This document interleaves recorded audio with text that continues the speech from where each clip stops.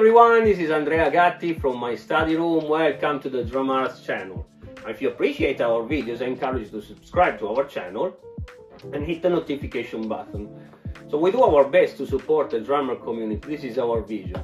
And uh, also I want to remind you that another way to support us is to visit our Drum shop. I will put the link in the description and you will find many cool t-shirts like this one. This is a, like with the theme of jazz and you can find other themes too. We working on new models every day. And this is a way to support us. Now these are these t-shirts are made of great quality. I encourage you to check them out. Link in the description. So here we are today guys. We are talking about the six stroke roll. Now the six stroke roll is one of my favorite also because I I like to see it as the swingy rudiment and we, we will see why. Now we will look at it in many applications and uh, as always, we're gonna also apply it on the drum set and see. I hope this can inspire your your playing, and then you can find many applications, and maybe you can get back to us and show us your progress. We would love to see that. Here we go. So as first step, I always recommend, if you follow me by now, you know it, that the first step of studying a rudiment or whatever is to understand the mechanics. If we want to look at the mechanics of the six-stroke roll, we will have two accents. So we will have one accent. I always encourage to use the Moeller technique. So be careful your upstrokes are made nice and clean and smooth.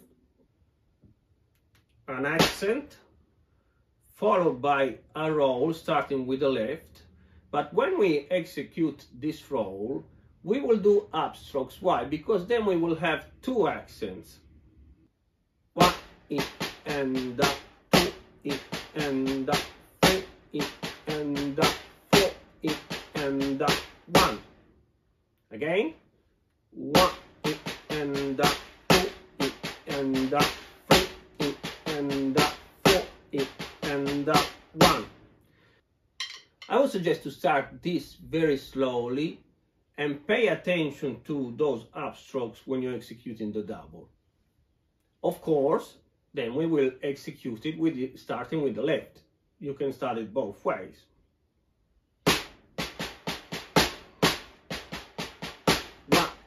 And two, and three, and four, and one. Now we're gonna execute it with the metronome. I always encourage to start at a very slow speed. And uh, in this way, you will have the space and the time to understand the movement, check the movements out if everything is clean and precise. So we will start at a speed of 50 BPM. Another thing I always encourage is to have in the metronome the smallest subdivision if possible. In this case, I will put a subdivision of 16 notes.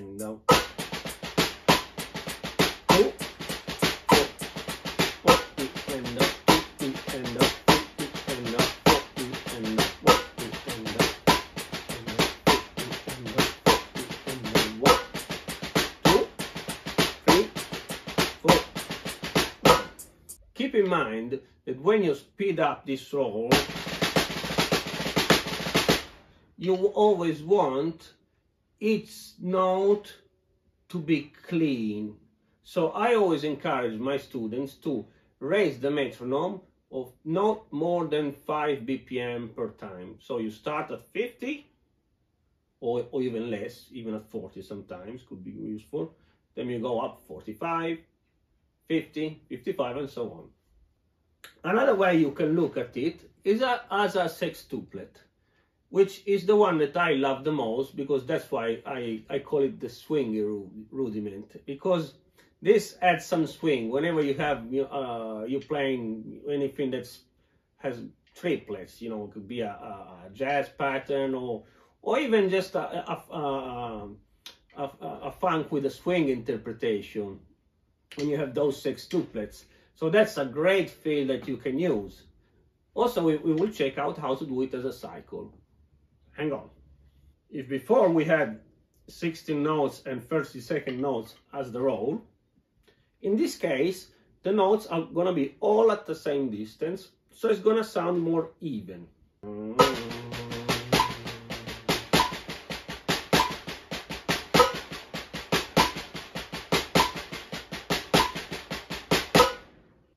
Now we will see how we can also go on and rearrange the accents over this roll. For instance, we can place the two accent on the first two notes and the roll on the following ones. If I start with my right hand, in this case, the roll will be executed like this.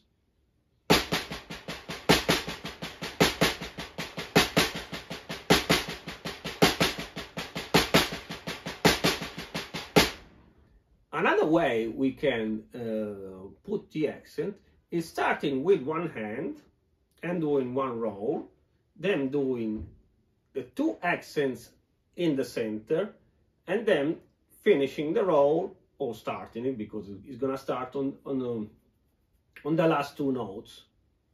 Let me try to be one, two, three, four.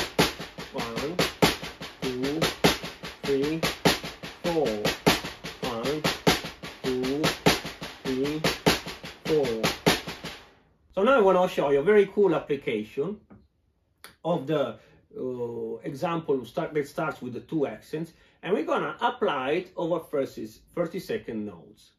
Now if you think as a cycle of six over 30 second notes, the roll will move on the beat like we've seen in, in, uh, in other videos.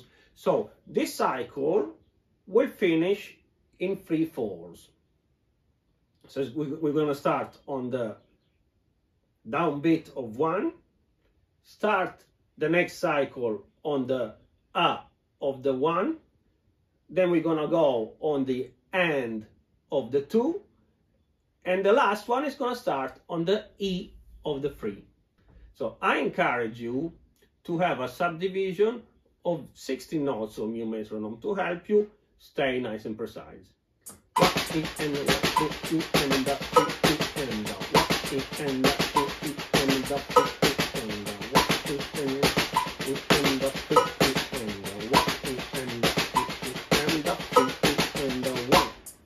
If you want, if you want to apply this rudiment, eh, this cycle over four fours, on the last one, we can do an eight stroke roll, which is going to be right, left, double, double, double, like this, and uh, and this will lead us to start uh, the cycle with the other hand, which I love because in this way we can really work on both hands in just one exercise.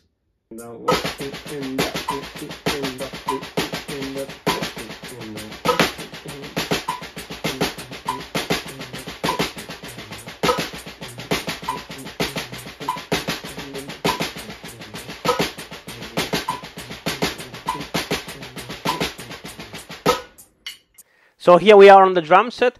First of all, we're going to look at the, um, the application, the one in, in the on a sextuplet. We're going to see how to apply it on the kit and how to also add a, um, a substitution, uh, substitution, a roll with two doubles with the kick, like Steve Gadd, basically. like I, I'm very inspired by him. Go and check him out if you don't know him.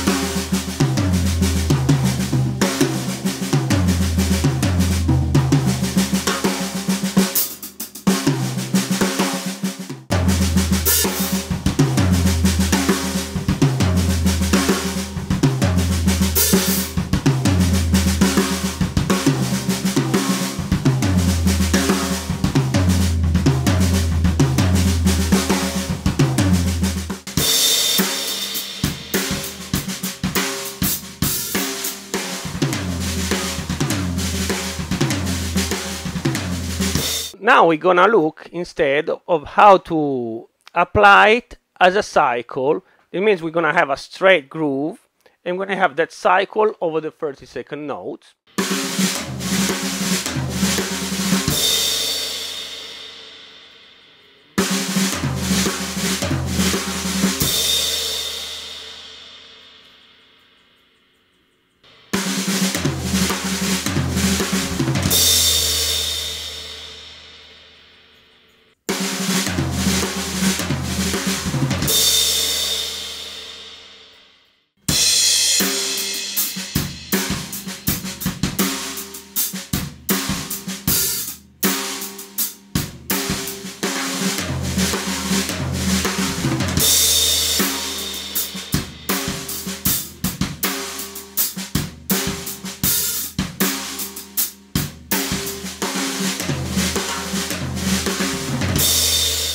Guys, it's all for today. Thank you for watching. Thank you for staying with us. I'm sure you're gonna find many ways to apply the six stroke roll on the pad, do step by step, then apply it on the kit.